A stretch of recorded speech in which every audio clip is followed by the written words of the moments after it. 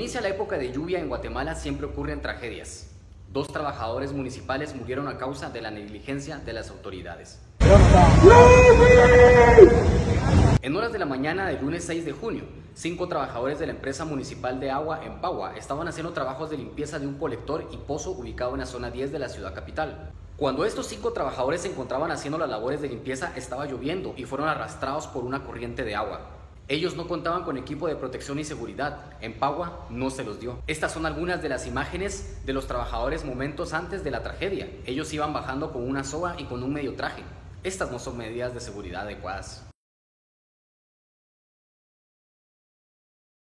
Con ayuda de los bomberos y otros compañeros se logró rescatar a tres trabajadores, pero dos más fueron arrastrados por la corriente de agua y murieron ahogados. Los cuerpos de Ludwig Orlando García de 21 años y Jorge Antonio Ortiz de 32 fueron encontrados a kilómetros de distancia donde ocurrió el hecho, en un río de aguas negras. Esta tragedia se pudo haber evitado si las autoridades no enviaran a personal a pozos y colectores en época de lluvia.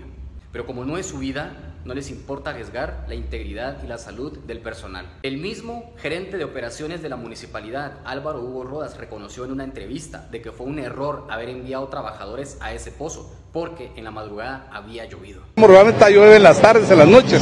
Hoy llovió de madrugada y muy fuerte. Entonces, eh, pues, hubo, diríamos, un error de haber bajado eh, hoy en la mañana. Alguien tiene que hacerse responsable de esta tragedia. Tras estas muertes, el alcalde capitalino Ricardo Quiñones salió a lamentar el hecho y mandarle condolencias a las familias de los fallecidos. Por favor, señor alcalde, si en verdad quiere hacer algo, asuma su responsabilidad como alcalde municipal como presidente de la Junta Directiva de Empagua y presente una denuncia penal y destituya a las autoridades de esta institución opaca.